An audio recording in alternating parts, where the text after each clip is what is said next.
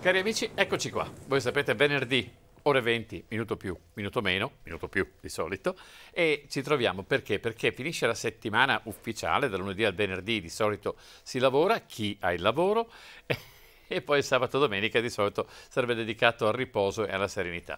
Ovviamente di questi tempi non è proprio così per tutti, però insomma di rippo e di rappe abbiamo mantenuto l'abitudine di farvi trascorrere una cinquantina di minuti il venerdì sera tra le 20 e le 20 e 50 parlando di qualcosa che vi possa togliere un po' no? tutte queste, queste miriadi di informazioni principalmente negative che ci saltano addosso dalla mattina alla sera. Io ho sempre detto che faccio al posto del disgraziario perché negli altre, le altre emittenti fanno i telegiornali, noi a quest'ora passiamo casa caffè.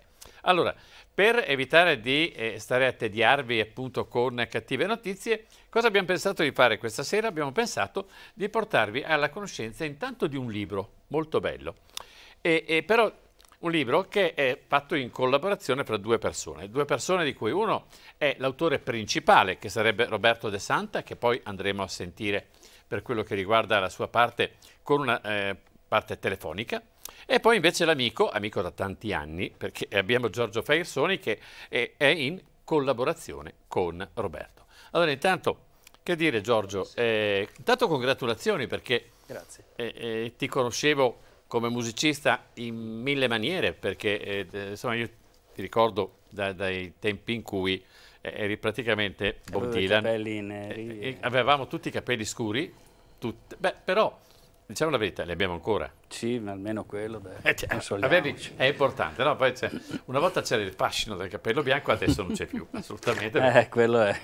Ma eh, eh, qui ho visto, insomma, parleremo anche della, della musica un po' no, degli anni 70, eccetera, eccetera. Sì. Allora mi viene in mente, adesso lo diciamo subito perché una volta come funzionava? Quando noi eravamo giovani, e parliamo appunto degli anni 70, allora, quando eri giovane eh, c'era sempre, eh, avevi 14 anni, siccome eri timido, allora le ragazzine c'era quello da 17, 18 che faceva molto più colpo di te.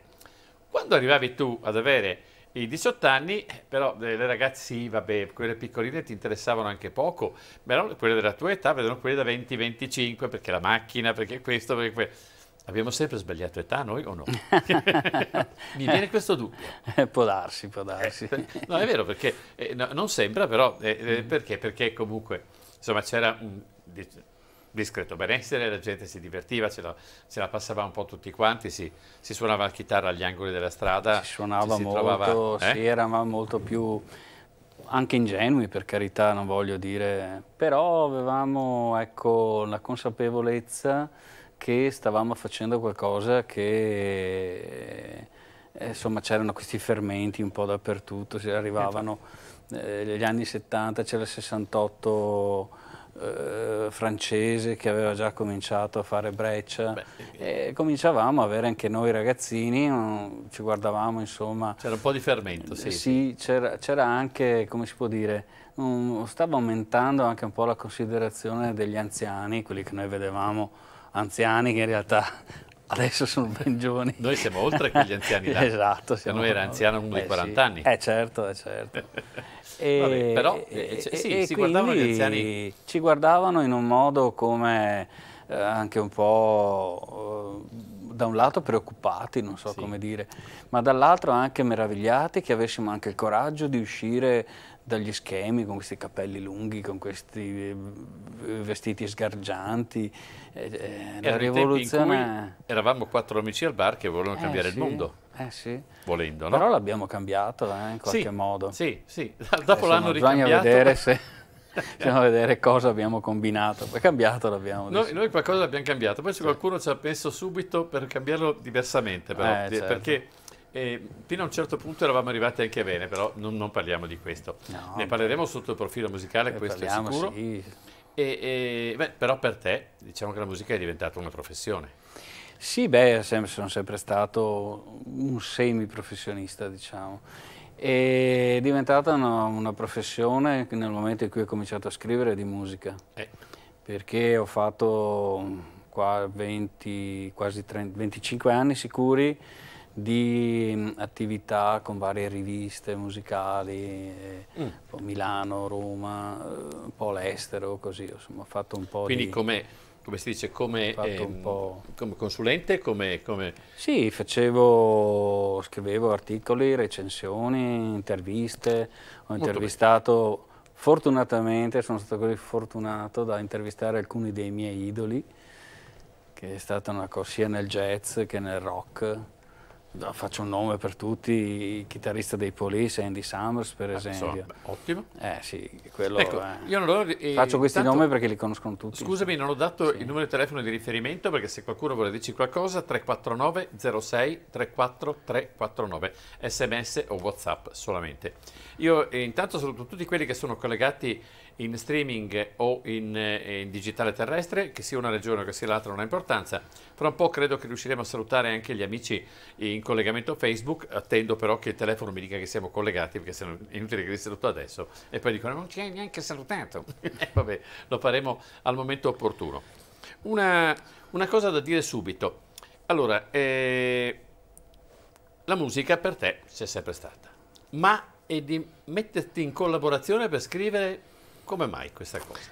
Eh, questa è una storia molto particolare, molto bella, molto e strana. Eravamo, noi eravamo proprio a scuola insieme, eravamo adolescenti, e facevamo, abbiamo fatto le superiori insieme a Conegliano. Dopodiché, eh, sì, ne abbiamo combinate, ma nel libro ci sono molti di questi episodi ne abbiamo combinate un po' di, di tutti i colori, come tutti noi ragazzi. come è giusto che sia. Ai tempi. E, e, niente, poi ci siamo persi di vista, io sapevo delle cose di lui, lui sapeva delle cose di me, ma in realtà non ci siamo più eh, rivisti né incontrati né niente. Qualche anno fa sono andato a farmi un giretto a Praga. Sono andato a Praga e con la mia macchinina sono andato, ho fatto il mio giro, fatto, eh, tornando a casa di notte, perché sono, ho viaggiato tutta la notte per tornare, sono passato per Sacile, che è la città dove, dove, Roberto dove vive abita. Roberto. Sì. E ho detto, ma guarda, chissà, è proprio qua che abita, chissà che fine ha fatto, cosa sta facendo, eccetera, eccetera. E poi vabbè, ho proseguito, sono arrivato sano salvo a casa, la mattina apro Facebook e trovo che Roberto De Santa mi aveva lasciato un messaggio. Ma dai. Ma dico, come? Sono passati 40 anni e mi fa, questa notte ti ho sognato. Eh, dico, no, ma, eri proprio passato. E dico, ah, sarà, non lo so cosa possa essere, eh, qualche, eh, è una coincidenza pazzesca, però io quella notte ero passato per Sacile e la mattina dopo lui mi ha scritto dicendo guarda che...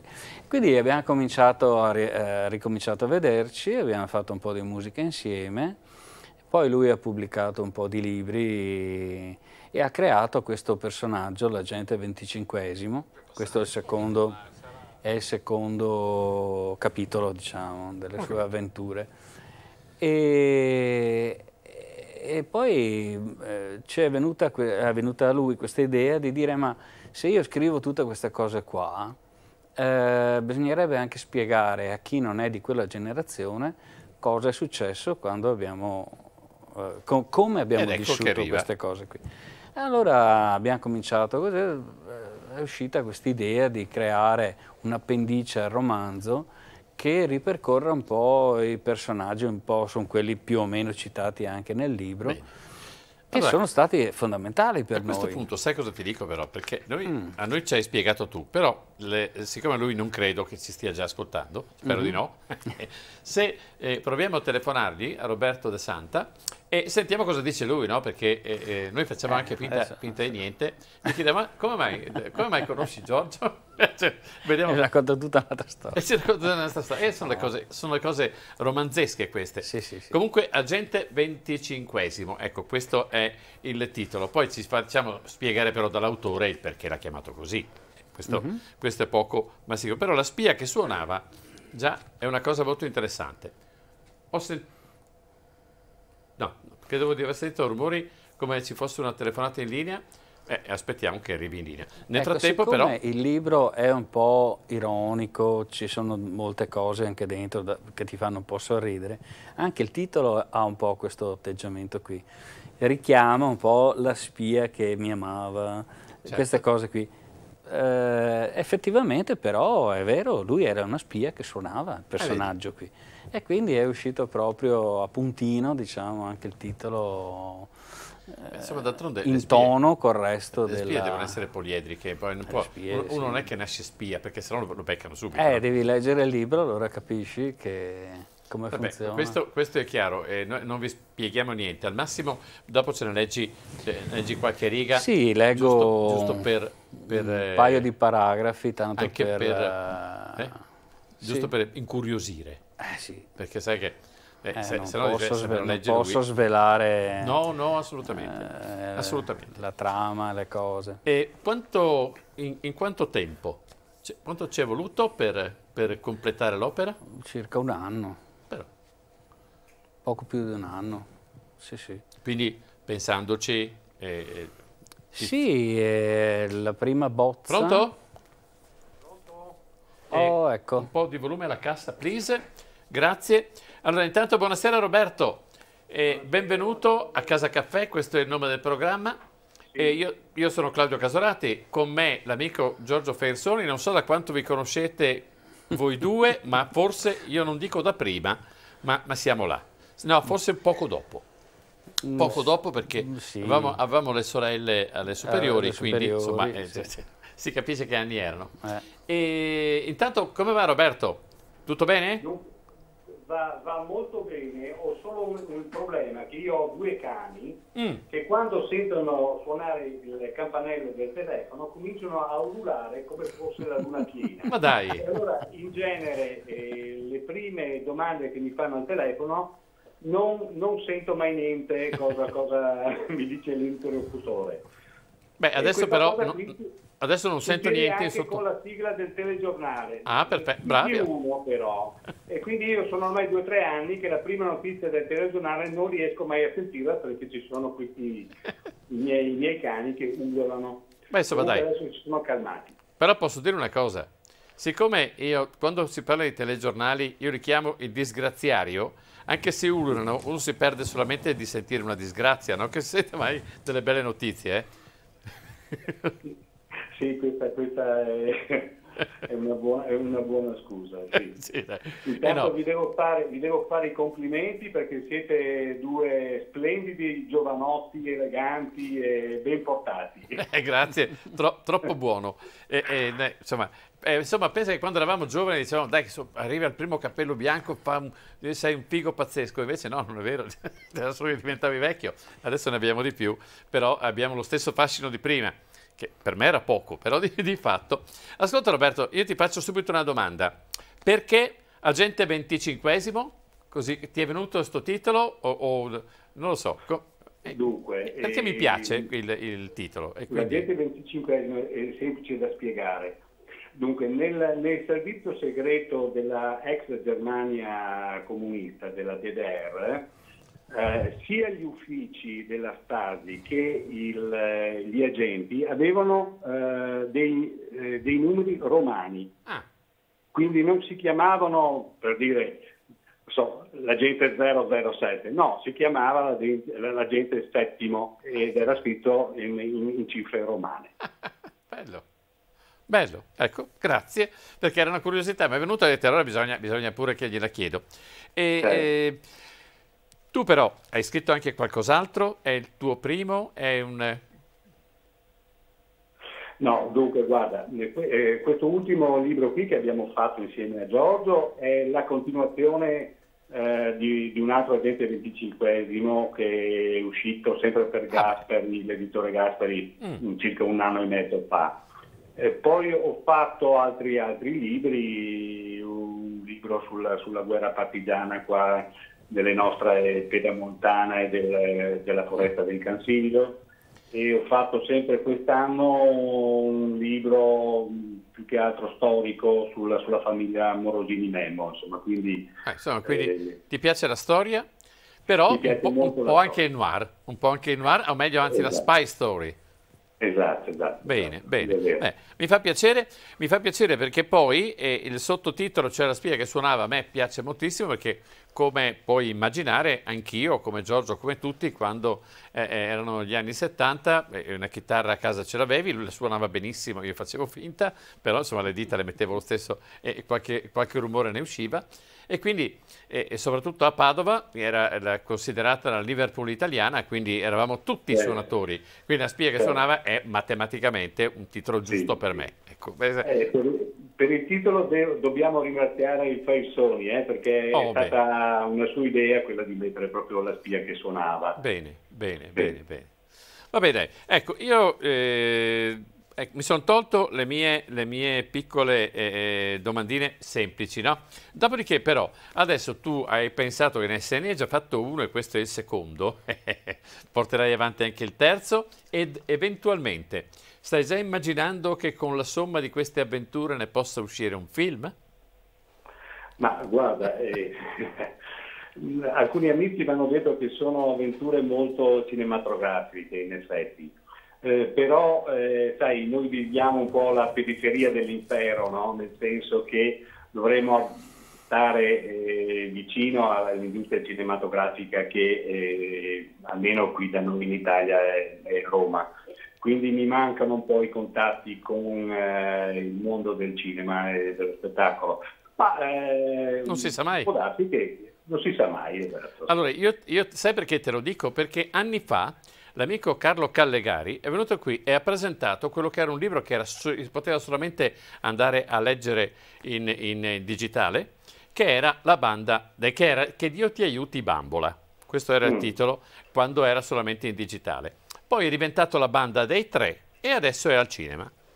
Ok? Ah, Qui lo ha presentato, prima volta che in assoluto che ha presentato quel libro, che era solamente in digitale, l'ha presentato qui da noi, e io ho detto, dico, ma dai, è bello, dico, potresti farne diventare un giorno un film, ma sì, non si sa mai, attenzione, è fra breve al cinema, ecco, quindi ti posso dire che, insomma, a lui è andata bene. Io ti auguro eh, la stessa cosa, perché no? Speriamo che, che, ci porti fortuna sia a me sì. che a Giorgio. Sì. Infatti voglio riavere fra l'altro Carlo qui perché adesso ci deve spiegare come ci è arrivato al cinema. Di...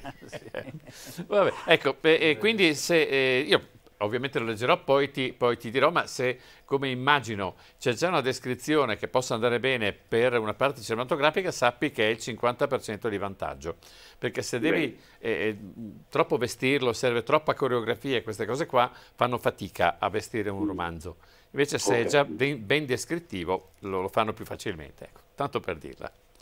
Grazie, grazie per i consigli. Vabbè, allora ascolta, eh, io, vabbè, io, intanto ti ringrazio e, e, se hai già cominciato a mettere giù due righe sul prossimo agente 25 non lo so, però se, se appena lo termini fai, mi fai sapere tramite Giorgio e ne riparliamo, anche se lui non sarà coinvolto, ma presentiamo anche la prossima puntata, perché no? Va bene, okay? vi ringrazio tantissimo, un saluto veramente di cuore al mio, al mio amico solidale. Ciao Giorgio, grazie, ciao, grazie, ciao, ciao grazie. Di nuovo, grazie. Ciao, grazie. Ciao. Ovviamente hai capito che ho evitato di fare le domande, che se no potesse, che non potesse dire una cosa diversa dalla tua eh, su come sì, vi siete ritrovati, vale, vale la no, sua no, sicuramente. Beh, Avrebbe detto la stessa cosa, però, però andava bene così. E, allora abbiamo parlato di musica, però siccome mm. tu la musica la scrivi, la suoni, la canti, mm. eccetera, eccetera, eccetera, ci fai sentire una cosa rapida, che poi sì. invece riprendiamo il discorso non solo su questo, su questo romanzo, ma anche su questa spy story, ma parliamo anche della rubber band, eccetera, eccetera, eccetera, mm-hmm. dove tu fai parte uno della rubber band. Quindi, eh, sì. cosa ci fai sentire? Eh, io pensavo di fare un brano che è, è, un brano che ha portato al successo Elvis Presley, mm. ma in realtà aveva già avuto molto successo nella versione dei, degli Isley Brothers ed è un brano francese di Gilbert Becot in realtà. Ah, sì. Dai. È del 50 7, 50, così, anni 50, quindi in tema anche con tutte le con... vicende del muro di Berlino. Non c'entra niente, ma eh, ecco, diciamo Intanto che... grazie a, a Beila, grazie a Mirella. Che, che, eh, anche il buonasera, ci sono i saluti, un po' alla volta poi saluto tutti, però intanto andiamo avanti. sentiamo la versione di... Sì, e si chiama, la, la canzone Let It Be Me. Si chiama. Let It Be Me, mm -hmm. benissimo. Andiamo.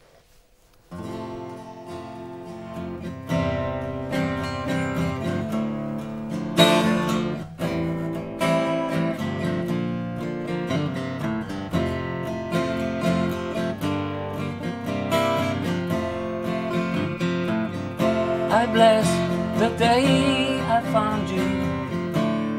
I want to stay around you. And so I beg you, let it be me. Don't take this heaven from one if you must cling to someone now and forever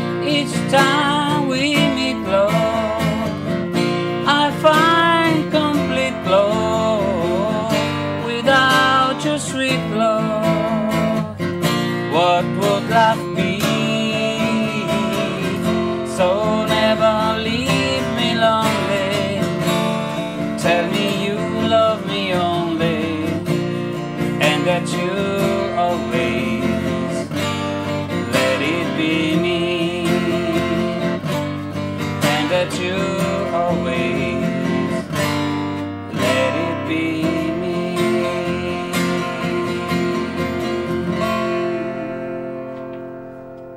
Eh, me la ricordavo, sai? È molto bella. Io ho visto che eh, nella tua appendice parli di parecchi artisti, io vedo John Lennon e gli altri, poi vedo Jimi Hendrix e, e Frank Zappa, tra l'altro, e insomma, e, e poi arrivano loro. Chi sono questi? Beh, perché sono, sono sono- sono curiosissimo. Allora, loro sono i Genesis. Wow! Sì.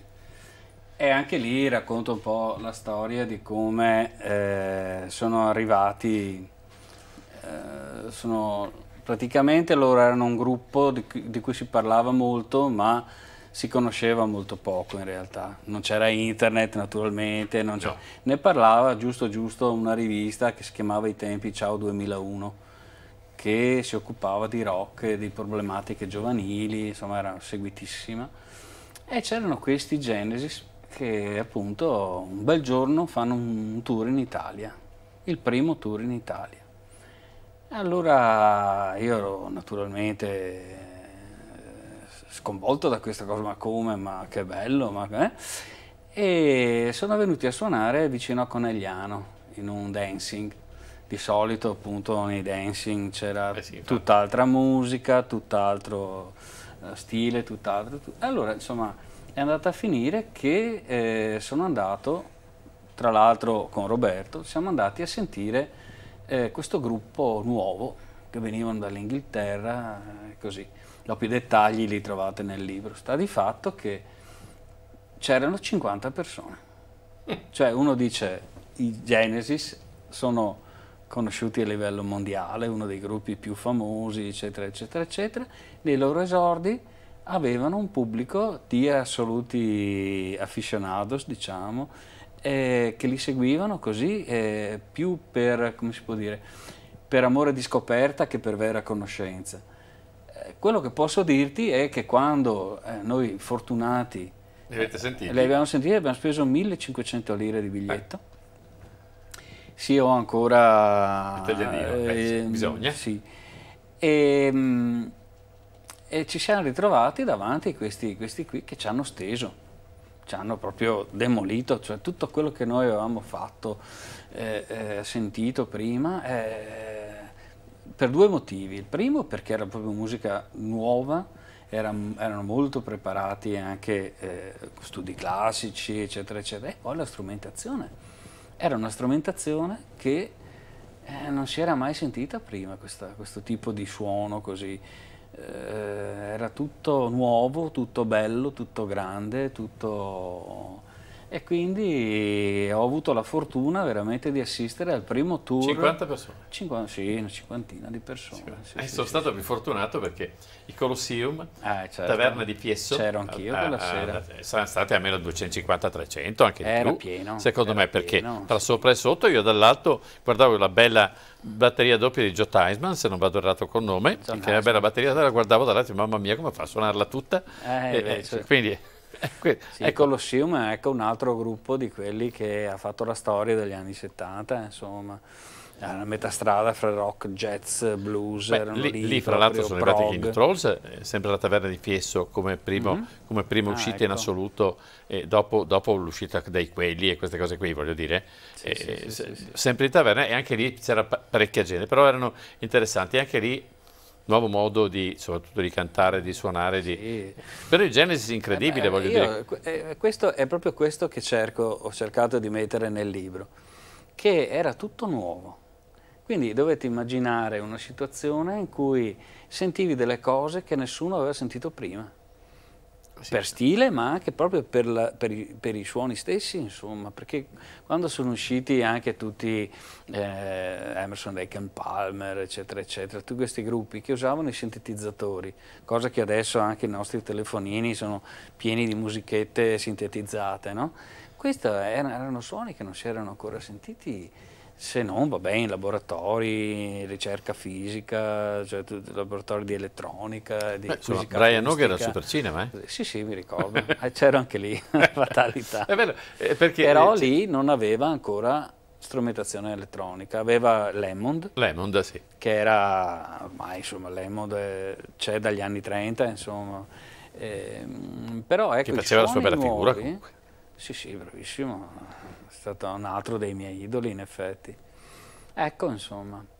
E se vuoi leggiamo due, due righe. Su, del... su, eh, su, vai, sì. vai, su, de, su che cosa volevi leggere? Metto giù. Appoggia, la, appoggia la chitarra tranquillamente. La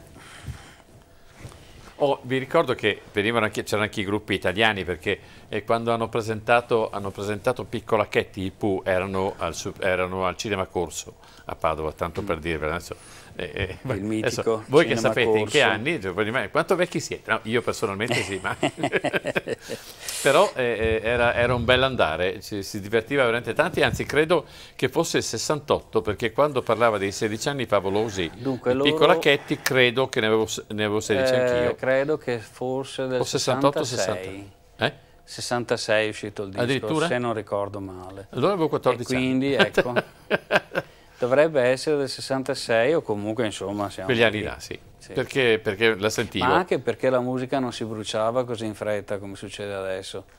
Ah beh, adesso sì. Adesso è una... lì i dischi si continuavano a vendere anche... Ma stavano in classifica per stavano... mesi? Sì. Anche per anni, forse. E, e, e ne vendevano tanti, cosa che adesso... Mm, no, adesso no. La crisi è... Cosa ci leggi? Allora, volevo leggervi un passo di... Pronto? 68. 1968, ah, ecco, vedi eh, che avevo ragione che avevo ecco, 16 anni. Ecco, 68. sì, sì, no, no. Grazie, allora, grazie regia, grazie sempre puntuale, sempre preciso. Vai. Allora, eh, racconta di questo Bruno Maier, che è un, un altro dei personaggi che la gente 25 incontra, ed è un, lui è un militare ed, e fa il, eh, un turno di guardia al muro di Berlino. Ah.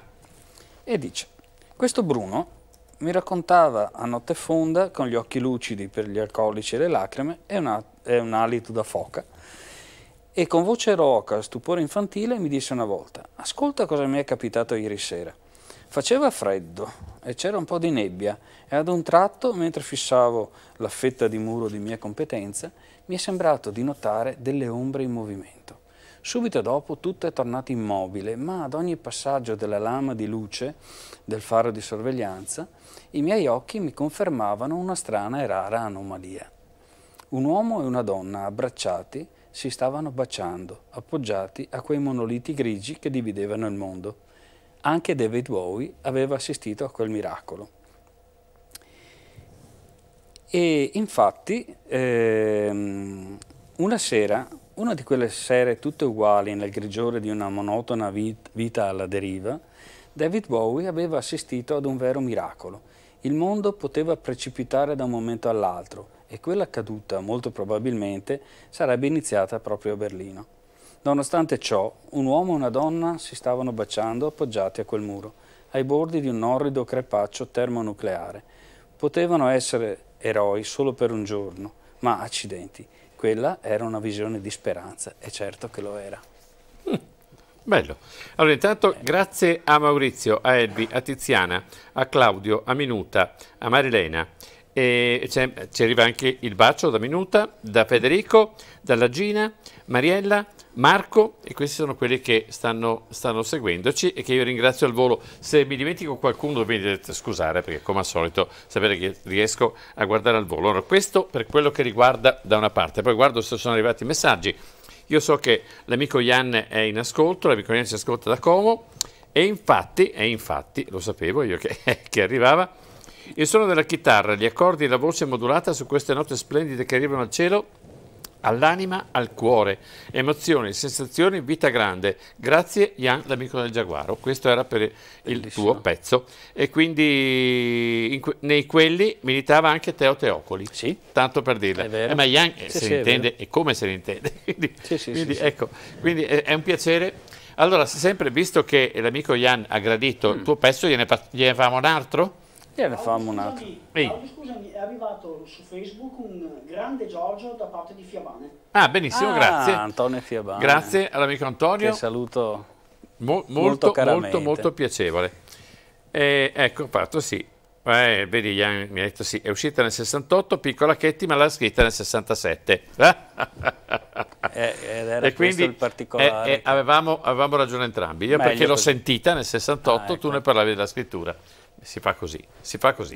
Allora, metti pure a cuccia quello, riprendiamo sì, la chitarra perché è il bello mm. di, di, questa trasmissione che facciamo tutto allora, da vivo. Allora, io adesso vorrei fare un, una cosa, ecco, eh. una cosa che è in tema con col periodo. Bene. Vorrei fare una versione eh, un po' blues sì? di Jingle Bells. Di Jingle Bells Blues. Sì. Beh, insomma, siamo anche vicini a Natale. Se non la facciamo adesso, eh. anzi, ce la teniamo anche buona che poi... Eh? Magari la ripropongo più avanti. Vai.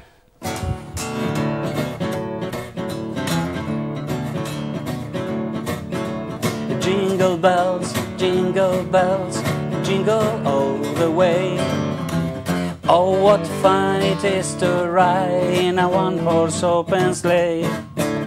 Jingle bells, jingle bells, jingle all the way. Oh, what fun it is to ride in a one-horse open sleigh. Dashing through the snow on a one-horse open sleigh. Over the fields we go, laughing all the way bells on ring, making spirits bright. What fun it is to ride and sing a sleighing song tonight. Oh, jingle bells, jingle bells, jingle all the way. Oh, what fun it is to ride in a one-horse open sleigh. Oh, jingle bells, jingle bells, jingle all the way. Oh, what fun it is to ride in a one-horse open sleigh.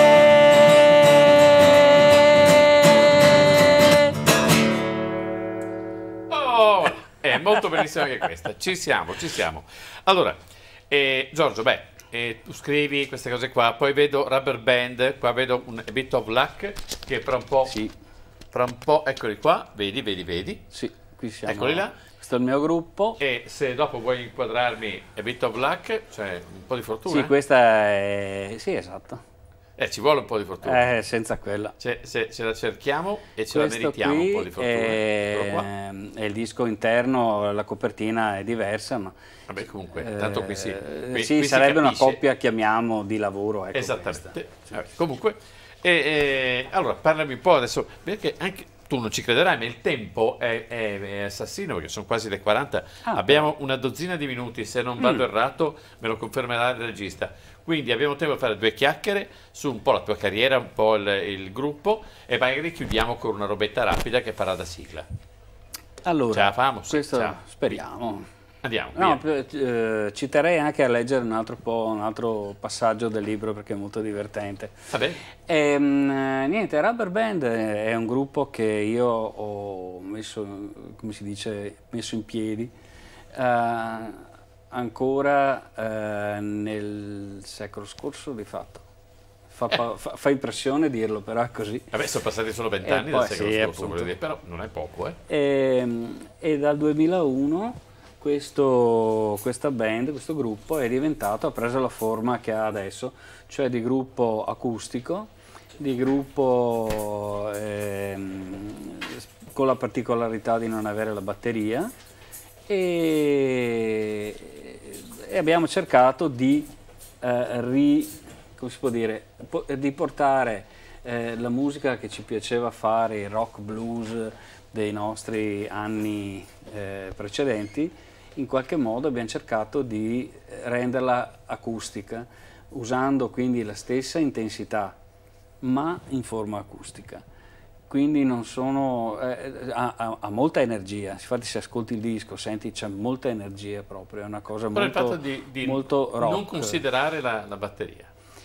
Sì, è stata una scelta molto eh, dico sempre come battuta perché noi odiamo i batteristi, cosa che invece non è assolutamente sì. vera, è che è capitato così e eh, una delle ispirazioni che ho avuto per creare questo gruppo è stata proprio per esempio quel bellissimo uh, Unplugged di Eric Clapton che è una, cosa, una delle cose più belle mai fatte secondo me, dove la batteria, non, c'è una vera batteria, ci sono molte percussioni, queste cose qui. E questi suoni acustici, ma allora si può fare, si può avere, eh, come si può dire, un, un'impronta rock o comunque molto così, anche suonando degli strumenti non amplificati, senza quei chitarroni, che per carità sono bellissimi, però e così ho cominciato questa avventura, ho trovato eh, Renato Banino che è chitarrista, lui fa la parte, diciamo, lui è virtuoso del gruppo e abbiamo cominciato nel 2001 e man mano siamo arrivati eh, fino ad adesso, insomma, adesso siamo fermi perché come sai bene, c'è qualcosa che ci impedisce eh, di andare ci, in giro a suonare. Non ci fanno suonare. Non ci fanno suonare e, però il gruppo c'è, è, è ben vivace, insomma, e siamo alle battute finali anche con il disco. Quindi il prossimo, quello che seguirà questo. Eh quando, eh, quando quindi, sarà ora eh, avremo sì, la band sì. al completo, al completo riusciamo a fare qualcosa. Quindi... cominciano a fare i concerti anche a mezzogiorno adesso ormai, perché sì, qualcuno ci prova. vedremo come prosegue la cosa. Sì, speriamo, speriamo, bene. Ecco, una cosa invece che volevo dire eh, fai sotto un certo profilo, se eviti la batteria, visto che è mm. veramente ingombrante, fai mm. anche il favore dei locali un po' piccoli, dove sì, eh, se no spesso... la batteria ruba il posto a un tavolino eh, da sola. Spesso è anche, anche di più. Eh. Anche di più.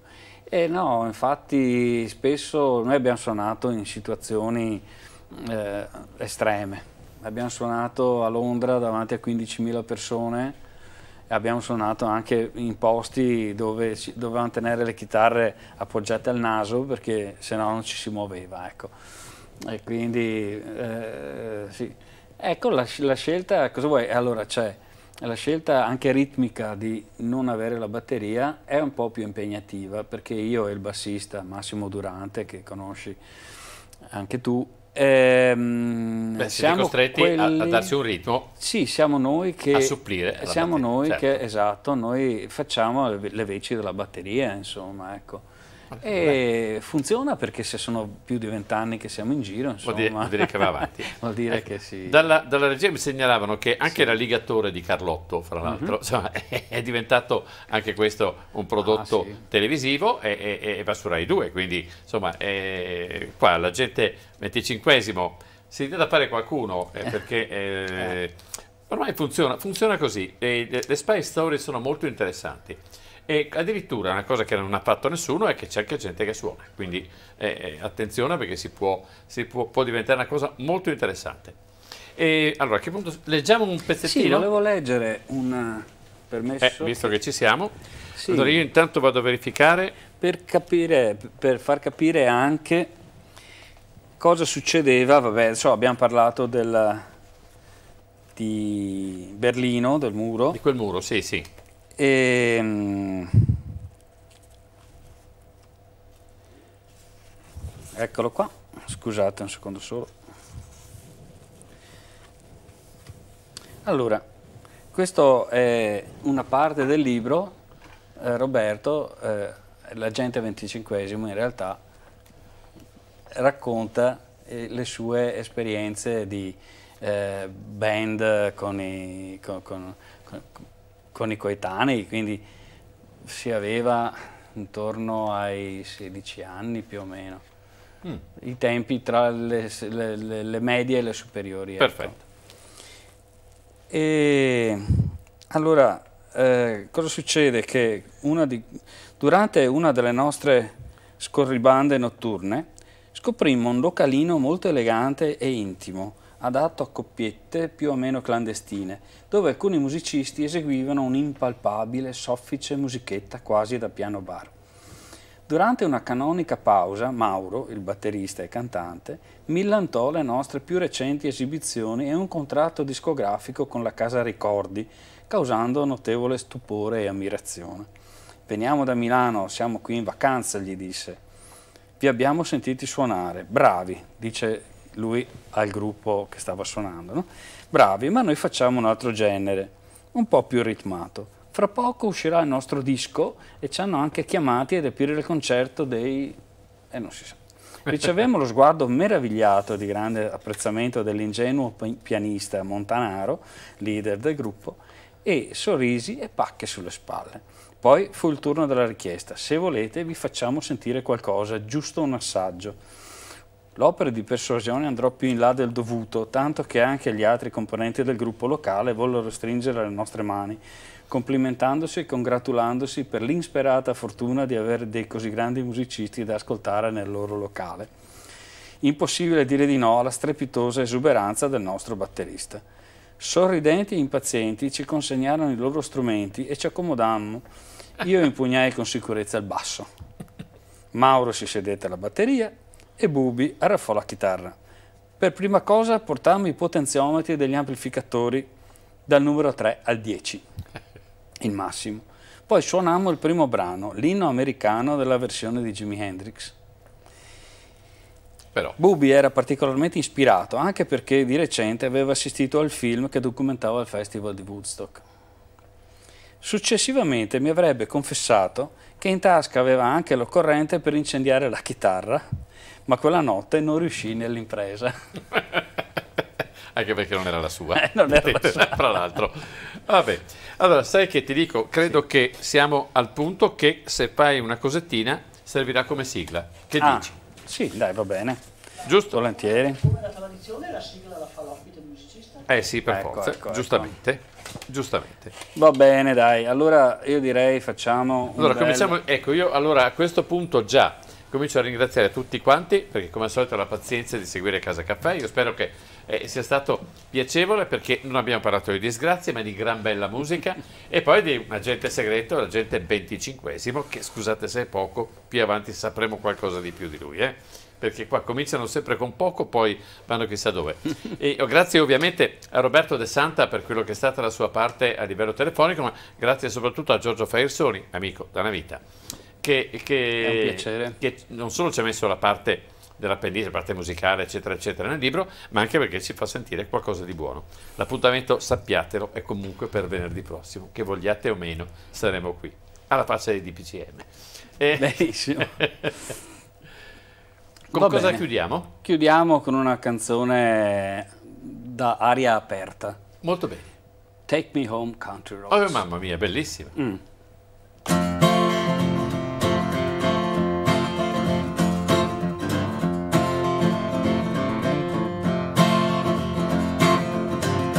Almost heaven, West Virginia, Blue Ridge Mountains, Shenandoah River.